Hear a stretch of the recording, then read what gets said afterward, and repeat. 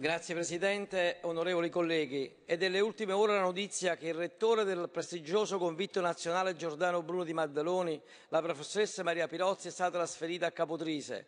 La notizia ha letteralmente sconvolto e lasciato incredulo genitori, alunni, docenti ed il personale tutto del convitto.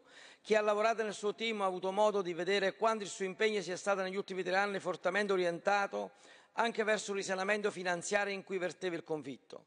Ed è per tale motivo che da più, fonti, più fronti questo trasferimento sembra essere stato di, di fatto motivato dalla scomodità delle sue azioni.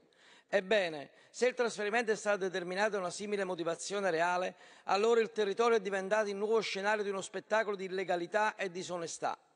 Tanto, tanti stanno dimostrando contrarietà al provvedimento, solidarietà e vicinanza alla professoressa Pirozzi ma al di là delle persone coinvolte il problema è la consegna ai nostri figli di una società che decide di imbavagliare chi vuole portare alla luce danni contro lo Stato, perché anche l'economia del convitto e le condizioni finanziarie dell'istituto sono e devono essere salvaguardate nell'interesse della società civile tutta. Non si può rimanere in silenzio di fronte a questo provvedimento, significherebbe assumere un comportamento omertoso.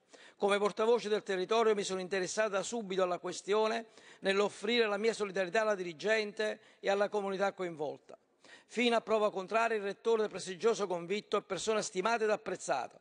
Sono certo che il Ministro della Pubblica Istruzione saprà fare subito chiarezza sul trasferimento in questione prendendo provvedimenti che allontanano il territorio dal baratro dell'illegalità. Grazie. La ringrazio. Do quindi lettura dell'ordine del giorno della seduta di venerdì 19 luglio 2019, ore 9.30, svolgimento di interpellanze urgenti. La seduta